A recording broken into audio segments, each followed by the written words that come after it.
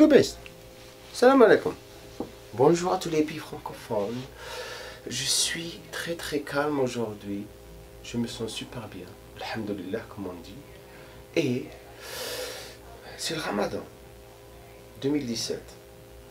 Parce qu'il y a bien des personnes qui vont peut-être cliquer sur cette vidéo, Inch'Allah, dans 3 ans, 4 ans, si on est toujours ici. Ils vont se dire 2017. Il, euh, ça va pas dans la tête. 2017 euh, Ramadan, bien sûr. Euh, je me sens super bien. Oh, le calme, le bonheur. Vous êtes vraiment, vraiment content pour les gens qui ne font pas le ramadan. Je suis pas super excité en train de boire le café comme pas possible pour devenir fou et commencer à vraiment péter les plans. Et c'est pour ça que durant le ramadan, hmm, il y a la paix partout. Super vidéo que je vais faire aujourd'hui en deux parties. Je vais commencer à faire les parties et les vidéos moins longues. Je vais faire le camp. Je vais pas arrêter de faire le camp parce que c'est moi.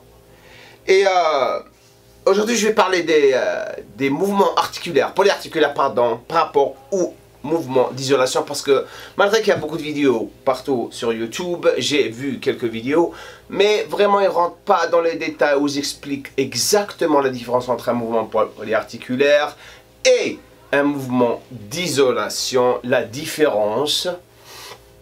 Et les gens, la plupart, dans les gyms, ils sont tout le temps, tout le temps perdus. Euh, ils ne savent pas quel exercice, quel mouvement utiliser, lequel c'est polyarticulaire, lequel c'est un mouvement d'isolation. Donc je vais vraiment, vraiment vous donner la différence, lesquels, et on va créer une histoire. J'adore raconter les histoires, comme vous savez. La vidéo, elle va avoir deux parties. La première partie, on va parler et expliquer les mouvements polyarticulaires, les mouvements d'isolation. Et la deuxième partie, on va la rendre encore plus intéressante. Les bénéfices, la différence, les bienfaits et les erreurs des deux exercices et pourquoi ils se rejoignent ensemble et ils ont une histoire d'amour ensemble qui va durer et rendre service tout le temps pour le monde de la musculation. Donc je reviens. Première partie ici, c'est les, euh, mouvements polyarticulaires. Ici, c'est les mouvements d'isolation. Euh, c'est quoi un mouvement polyarticulaire? Mouvement articulaire, bien sûr, il cible plus de parties du corps et engage plus vos articulations. D'où le nom polyarticulaire, mes chers globistes, c'est-à-dire le squat. C'est un mouvement polyarticulaire.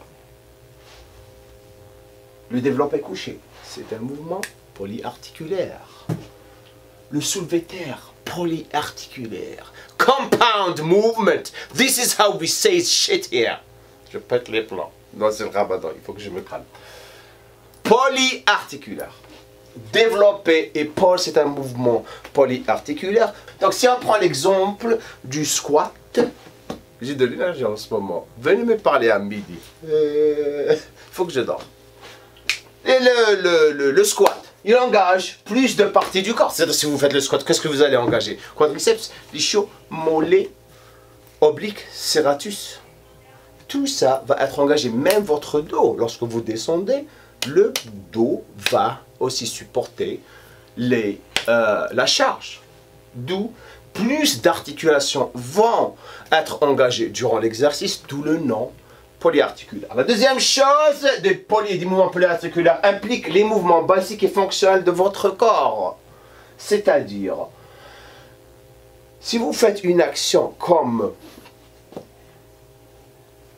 pousser quelque chose, ça c'est développer l'épaule. Si vous tirez quelque chose, c'est un rowing avec la barre nécessite un effort coordonné de plusieurs groupes musculaires ensemble. Ils font tous arriver pour faire le mouvement. D'où vous avez plus de force et vous avez plus de croissance musculaire lorsque vous faites ça. Euh, quatrième chose, c'était un mouvement très très fonctionnel, mes chers globistes. Maintenant, les exercices d'isolation ciblent un groupe musculaire spécifique. isole, isole. It's a one joint movement, c'est-à-dire vous allez juste utiliser une articulation au lieu de plusieurs articulations. La deuxième des choses dans l'exercice d'isolation, localise plus le mouvement de la partie du corps que vous allez cibler, mes chers louistes. Troisième chose, augmente le volume des séances d'entraînement, c'est-à-dire quoi? Plus d'hypertrophie musculaire, bang, ça veut dire que quoi? Le mouvement d'isolation participe dans la croissance musculaire. C'est ça la chose dont on va parler dans la prochaine vidéo, c'est-à-dire la partie 2. Les exercices d'isolation, bien sûr, si vous voulez savoir lesquels. Cœur latère, tirage poulie, cœur avec les câbles, élévation latérale, etc. etc. Maintenant, Kador, Kador, il rencontre Julien. Julien, tout le temps, en train de faire deux mouvements polyarticulaires. Il fait sa séance en 20 minutes. Kador, 7-8 mouvements d'isolation. Kador décide de déménager. Il invite Julien à le rejoindre pour l'aider. Kador se fout tout le temps de la gueule de Julien lorsqu'il fait ses mouvements polyarticulaires. Il passe juste 20 minutes à 25 minutes dans la salle et Kador passe une heure, deux heures à s'entraîner en train de faire cet exercice d'isolation. Dites-moi, au-dessous de la vidéo, lequel est plus fort et lequel va plus tenir durant la séance de déménagement? Laissez le commentaire et on reviendra dans la partie 2 avec plus de informations pour la différence entre les exercices polyarticulaires et les exercices d'isolation. Le